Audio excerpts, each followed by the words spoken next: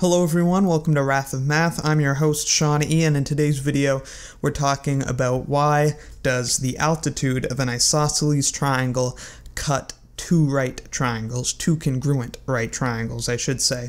So let's construct, it's, it's pretty easy so it shouldn't take too long.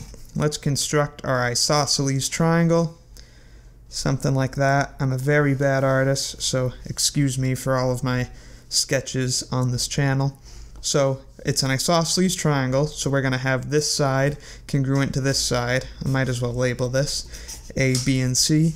So side AB is congruent to side AC, and then we're going to drop the altitude. Um, from, and of course, when we're talking about the altitude of an isosceles triangle, cutting two congruent triangles, um, we're talking about the altitude that has a vertex adjacent to the two congruent sides. So this one here. So the altitude goes from A down to side BC and is perpendicular to this side. And it's perpendicular over here as well. Not going to bother writing that in because it looks gross. Of course, they don't look congruent because I've done a, a poor job sketching it, but now we know that this triangle, AB, we're going to call this point P. So now, and this is not to scale, of course, PAB this right triangle that we've just cut, we're just shifting it over here, is congruent to triangle.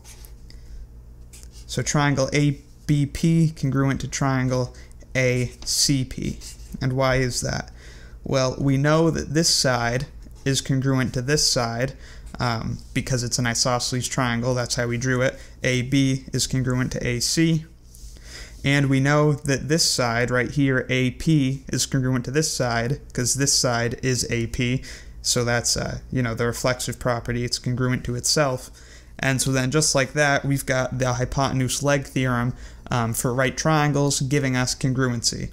So then we get that triangle, I'll write this out in black, triangle ABP by hypotenuse leg is congruent to triangle ACP.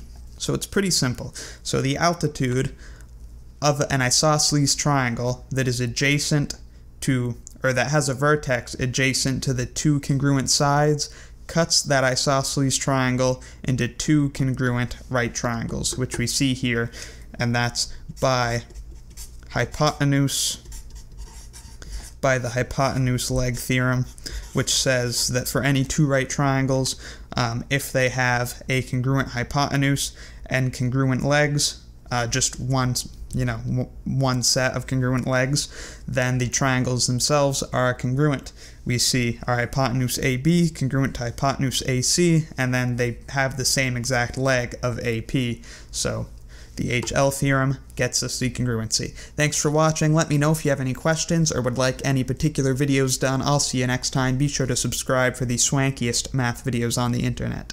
I can hear your voice from all the way up here, dear. Won't you please come to me? You love it up here, dear. There's a light where I float that erases